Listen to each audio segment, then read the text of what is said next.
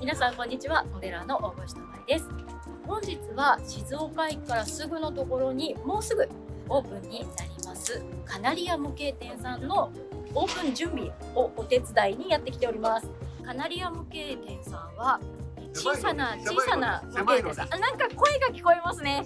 えっ、ー、とどなたの声でしょうか？あ専務さんです。はい。はい。この店長のはい。はい。今指令を受はいはいはいブラコさんですはい、カナリア模型店店主のブラコさんです。今、えー、開店の準備で専務さんと小越さんほかでラコさんお手伝いメンバーがはい静岡に集結しております。いっぱい来ておるのです。ます。ではアンティークキットの選別が行われております。見せびらかしようと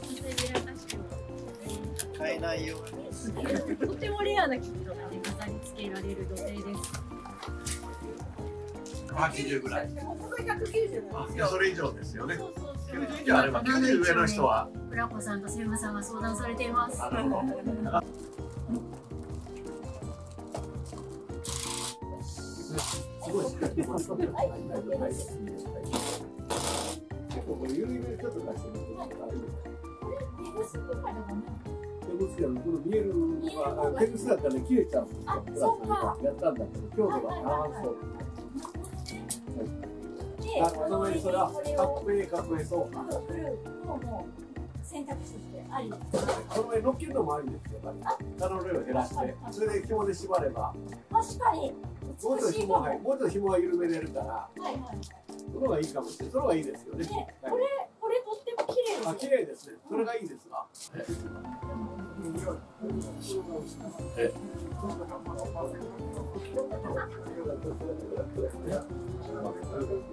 まあ、これでいい。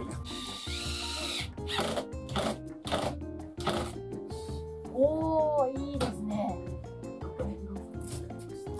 ああめっちゃ丁寧に一つ一つ袋詰めをされております。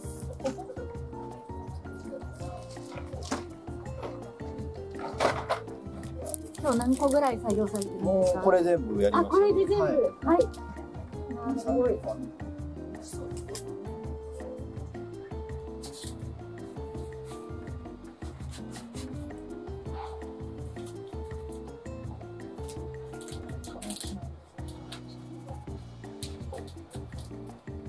本日は静岡駅からすぐの場所にもうすぐオープンするカナリア模型店さんにやってまいりました。パチパチ。今回、経店をオープンされるということで、ね、ついに。ね模型店カフェですよね。カフェも、ちょっとね。はい今まだ準備中、オープン前の準備ということで、今今日はですね、海洋堂の専務さんもはい駆けつけてくださって、はいみんなで飾り付けをしたり、ありがとうございます。たどりました。お店をオープンしようときっかけと、はいいきさつをちょっとお話しいただき必殺どのくらいの尺で？あの、あの、お好きなだけお話しいただいて。静岡のこのメイン通りにある。駅はここからもうあれすごいいい場所なんです。駅前から駅から歩いて、本当に徒歩一分。うん。ね、北口からすぐですね。そうですね。国道がたくさんなんですけど、はそういう目抜き通りにプラモデルが売ってるっていうところが見当たらないから、おもちゃ屋さんはあるんですけど、奥の方にあるので、路面を歩いていて、普通にプラモデルが目に入るっていう状況を作りたかったです。あ、ホビーの街なんで、プラモの街静岡なので、でちょうどいいで、この広さはどれくらい狭さ。狭さ？日本最小級、最小級。最小級ですね。で、1.75坪でう、そのうち半分がキッチンなので、はまあ一坪ですね。一坪。だけど。そうそう、だけど小さいんですけど、縦の天井が高かったので、それをちょっと利用して、2階建てみたいにちょっと内装で工夫して、そう。たくさん物が置けるようにしたんですけど、それにしても小さいので、散々バカにされて、え散え々でも、バカにされて、最初は。そう、一坪のうちの歌にもありますが、一坪半の模型屋があって、すべての始まり、海洋堂って歌があったんですよ。はい。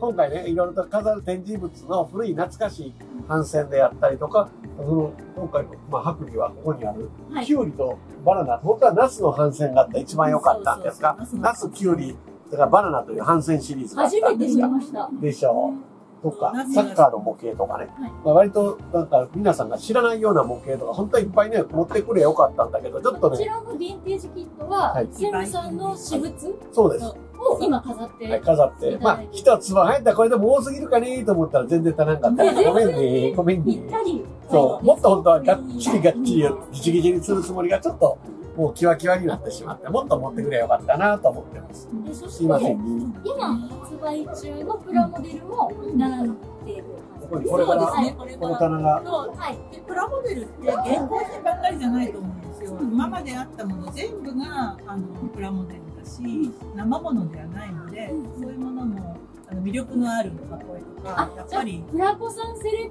クションで、あいろいろ並べられたらいいな。そうなんですね。箱絵が好きなので、箱絵の素敵なものを並べて、プラモデルの文化を皆さんに歩きながら、あれって覗いてもらえたら一番いいなと思もちろん今発売されてるものは注文すれば届けてる。う。もちろんです。ここで購入したりとかはできるんです。そうですねはい、だからあの、えっと、見せるだけの見せびらかしと原稿品と中古品中たちを皆さんが有志の方が、あの、自分の家にあっても、これは売っていいやと思うやつはここに持ってこられて、ここに置いてあるというのが、これから増えてくるはずバですよ。リエーションがいろいろ楽しめる感じそうなんね。ですあっちにも飾ってるよえっとあちょっと今映像には映ってないんですけど、棚があって、そこに塗料がそが、あの、ちょっとした接着剤とかここにあるよ、ここに向こうから回ってる、これ。の、よくよく僕らがほら、ボケ屋さんに、あの、冷やかしで行っても、あの、一番多いのは、接着剤1個買うとかね。はいあの、なんかほら、あの、冷やかして帰るの嫌じゃないですか。そうあのクリアの塗料を一そうそうそう。そのためにはちゃんとそのためのもんが揃ってるんで、みんな冷やかしに来るだけじゃなくて、なんか買っていくことができるよ。いろいろな向けのイベントも開催されてますので、そのイベントの帰り、ちょこっと寄っていただく。うちしないんだよねそうなんですだってだって、イベントやってるからね、割とね。だけど、だけど、ここをシャッターにしたくないので、絶対アルバイトさんを誰かお願いして。あ、そうかそう。プラスさんには会えないけど、誰かはやってるよってやつ。そうそうそうはい。来れるようにきっとクレープも、美味しいクレープが今日食べれると思ったけど食べれんかったので、クレープを食べましょうってだから。先にプラモデル屋さんを充実させてから、慣れてきたらだんだん飲食の方も、カフェのちょ方も。っとずつ、ちょっとずついろい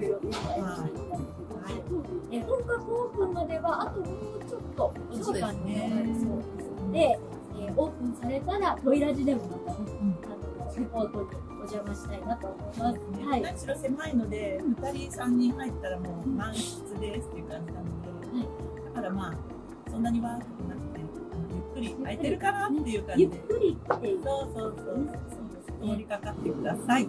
カナリア模型店さんのオープンお楽しみに。楽しみに。楽しみだそうですよのオープンお手伝い、ね、ありがとうございます。ありがとうございます。働きました。はいありが。とうございます。はい。ではではでは、皆さん来てね。来てね